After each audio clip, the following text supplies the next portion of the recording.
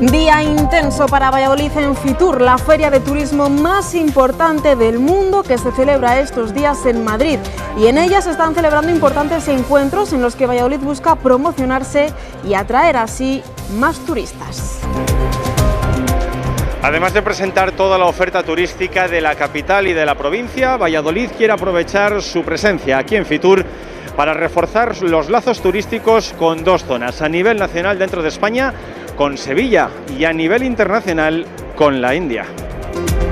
¿Qué tal? Muy buenas tardes. Hoy muchas de las citas informativas relativas a Valladolid están ocurriendo fuera de nuestra provincia. Una de ellas es Fitur en Madrid y la otra en Soria. La plataforma Soria ya se ha reunido hoy con miembros de la plataforma, con miembros del Gobierno de España para pedirles que agilicen la construcción de la autovía del Duero, la A11, pero no ha habido acuerdo y por eso tampoco han querido hacer declaraciones al respecto. Pero hay más noticias.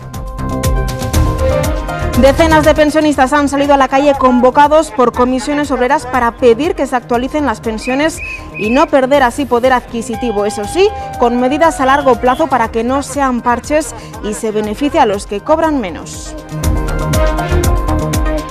La media de la pensión en España está en 889 euros, me parece, en España. Y aquí en Valladolid sube un poco, está en 1040 y tantos. Pero claro, para llegar a esa media quiere decir que hay, hay muchas viudas y muchos, muchas pensiones que cobran menos del salario mínimo interprofesional, menos de los 700 euros.